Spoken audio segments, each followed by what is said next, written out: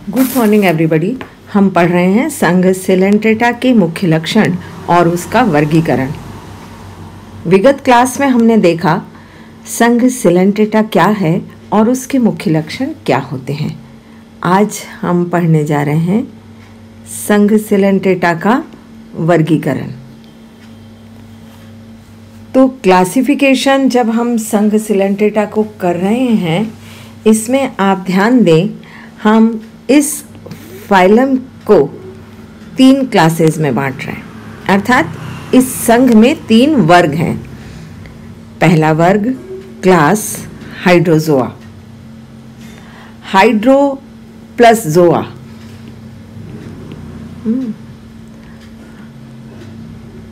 hydra plus zoa तो hydra का शाब्दिक अर्थ होता है वाटर सर्पेंट अर्थात जल सर्प। तो इस प्रकार के जीव जो जल में हैं, उन्हें हमने कहा हाइड्रोजोआ अब हाइड्रोजोन्स कैसे होते हैं?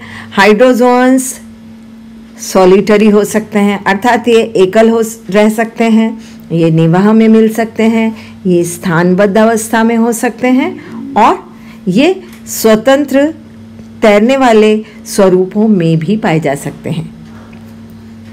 इन प्राणियों में रेडियल सम्मिति पाई जाती है। जैसा कि ये सिलेंट्रेट्स हैं तो क्या है? डिप्लोब्लास्टिक। डिप्लोब्लास्टिक होने के नाते बाहर एक्टोडर्म और अंदर वाली डर्म, जिसे हम कहते हैं गैस्ट्रोडर्मिस। इन दोनों के मध्य में सिलेंट्रेटा में जो मटेरियल है, वो क्या है? मीजोग्लिया और हाइड्रोजोआ का जो मीजोग्लिया है, वो नॉन सेल्यूलर है. जिलेटिनस होना तो ग्लूआ ग्लू मीजो मध्य में जो ग्लू लाइफ सब्सटेंस है, लेकिन हाइड्रोजोआ का जो है मीजोग्लिया में सेल्स नहीं पाई जाती, इसलिए यहाँ हम इसे स्पेसिफाई करते हैं कि इसकी मीजोग्लिया नॉन सेल्यूलर और जिलेटिनस होती है। इसकी जो गैस्ट्रोवेस्कुलर कैविटी है, उसमें स्टोमोडियम नहीं पाया जाता। ये जीव पॉलीमॉर्फिज्म दर्शाते हैं।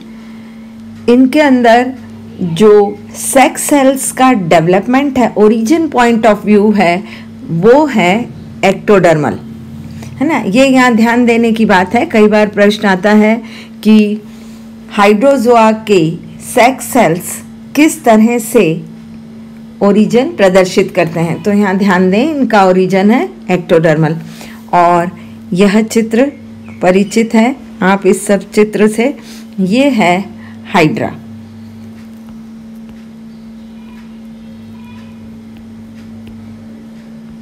हाइड्रा ऐसा सिलेंट्रेट है जो फ्रेश वाटर में भी मिलता है। इसमें ये यहाँ पर सामान्य रूप से हमें दिखाई दे रहे हैं। ये इसके टेंटकल। ये यहाँ पर टेस्टिस और ये ओवरी। ये इसमें बर्ड। यह जो ऊपर बिंदु यह दिखाई दे रहा है, यह है इसका माउथ और माउथ जिस स्टेज पर है, अर्थात यह जो नीचे हमें दिखाई दे रहा है कि येलोइश जगत में, यह है इसका हाइपोस्टोम तो इस प्रकार ये कुछ कैरेक्टर्स जो हाइड्रा में हमें स्पष्ट होते हैं, और हाइड्रा वेल नोन एग्ज़ाम्पल है हाइड्रोजोआ का। तो ये हुई एक क्लास। नेक्स्ट पे चलते हैं हम दूसरी क्लास, जिसे कहते हैं स्काइफोजोआ। स्काइफस, ठीक है? स्काइफस का मतलब होता है कप या प्याला। तो इस तरह के जीव जो प्याले नुमा हों, वे कहलाते हैं स्काइफोजोन्स तो स्काइफोजोन्स में मेड्यूसा फॉर्म प्रभावी होती है। इनमें सामान्यतः जेलीफिशेज आती हैं। ये पूर्णतः मैरीन है। इनमें चूँकि अभी मैंने आपको बताया मेड्यूसा फॉर्म प्रभावी होती है और मेड्यूसा का जो शेप है, वो बेल या अम्ब्रेला शेप्ड होता है। इनमें वास्तविक विलम का अभाव होता है। इनके टेंटाकिलोसाइट्स जो हैं वे मार्जिनल पोजीशन पे होते हैं और संवेदनांगों की तरह कार्य करते हैं। इनमें पॉलीप्लॉइड जनरेशन का अभाव है। अर्थात पॉलिप अवस्था जो है, वो नहीं पाई जाती। जैसा कि मैंने आपको प्रारंभ में ही इसके बताया कि यहाँ पर मेड्यूसा अवस्था प्रभावी होती है और इनकी जो गैस्ट्रोवेस्कुलर कैविटी है, उसमें स्टोमोडियम नहीं पाया जाता। तो गौर कीजिए, यहाँ पर कुछ इस तरह के कैरेक्टर मिलेंगे, जो दूसरी क्लास के साथ जब आप तुलना करेंगे तो समझने में आसान होंगे। वहाँ पे आपने देखा मीजोग्लिया में जो सेल्स हैं, वे नहीं हैं। नॉन सेल्युलर मीजोग्लिया थी। यहाँ की मीजोग्लिया में सामान्यतः सेल पाई जाती हैं। इनके गोनेट्स एंडोडर्मल ओरिजिन के होते हैं। इसका परिचित एग्ज़ाम्पल ऑरेलिया ठीक है? ये ऑरेलिया अब आप गौर करें, ये अम्ब्रेला शेप इसमें ये इसके मार्जिनल टेंटाकल ये यहाँ पर गुनेड और ये इसकी आर्म्स तो इस प्रकार एक umbrella form cup shaped structure ये साइड वाले डायग्राम में भी आप देखें और स्थिति स्पष्ट होती है। तो ये हमें यहाँ पर दिखाई देता है ऑरेलिया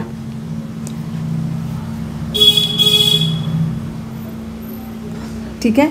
पूर्व में आपको मैंने एक बार बताया था कि जब हम इसके लक्षण पढ़ रहे थे तो इसमें प्लेन्यूला हाइड्रूला स्काइफोस्टोमा और इफाइरा लार्वा पाए जाते हैं।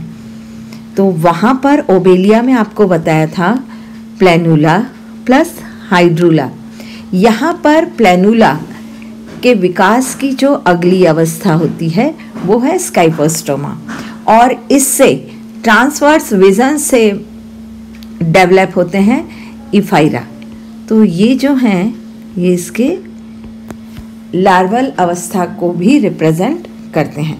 अब हम इसके अंतिम क्लास पे चलते हैं, जो है एंथोजोआ। एंथोस का मतलब होता है फ्लावर। इसके मायने हैं फ्लावर। तो इसके जो जीव हैं, उनका जो अपर पार्ट है, उसमें टेंटाकिल्स आदि की उपस्थिति के कारण उनका एक resemblance at a glance flower की तरह दिखाई देता है। अब, ये एकल हो सकते हैं, ये निवही हो सकते हैं और ये मैरीन फॉर्म्स होती हैं। इनके अंदर मेड्यूसा अवस्था रिड्यूस्ड और पॉलिप अवस्था डेवलप्ड होती है। इनके स्टोमोडियम में साइफेनोगिल्फ पाई जाती हैं। इनकी गैस्ट्रोवेस्कुलर कैविटी में जो सेप्टा हैं और मिजेंट्रीज हैं, उनमें दंश कोशिकाएँ भी पाई जाती हैं। ये आप पढ़ रहे हैं एंथोजोआ के मुख्य लक्षण। इस क्लास को दो सब क्लासेस में बांटा। हाँ एंथोजोआ को दो सब क्लासेस में बांटा। एक ऑक्टोकोरेलिया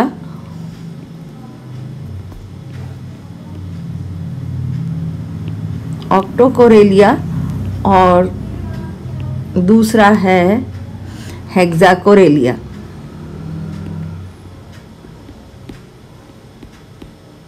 हेक्सा कोरेलिया तो अब इस स्लाइड पे हम आते हैं। ऑक्टाकोरेलिया इसके अंदर आठ टेंटाकल्स पाए जाते हैं। इसलिए हम उसे कह रहे हैं ऑक्टा कोरेलिया। इसका परिचित एग्ज़ाम्पल है एल्सायोनियम इसमें आप देख रहे हैं ये पॉलिप अवस्था है। है ना? पॉलिप अवस्था प्रभावी है, ये इसका स्टाक फॉर्म इसके ऊपर इस तरह छोटे छोटे हमें यहाँ दिखाई दे रहे हैं पॉलिप। ये आप देख पा रहे होंगे, यहाँ पर इसमें है पॉलिप। और जो दूसरी है, वो है हेक्सा कोरेलिया। हेक्सा कोरेलिया में फिर आप इसके नाम पे गुणन करें कि इसमें टेंटाकिल्स आठ नहीं होते हैं। ठीक है? और इसके अंदर जो मिजेंट्रीज हैं, इसकी गैस्ट्रोवेस्कुलर कैविटी को अगर हम एनिमल को कट करें तो इसके अंदर की जो गैस्ट्रोवेस्कुलर कैविटी अंदर हमें दिखाई देगी, उसमें मिजेंट्रीज पाई जाती हैं। और उन मिजेंट्रीज की संख्या छ या छ के गुणन में होती है। तो हेक्सा, कोरेलिया। इस तरह ये कंप्लीट हुआ संघ सिलेंटेटा का वर्गीकरण। धन्यवाद।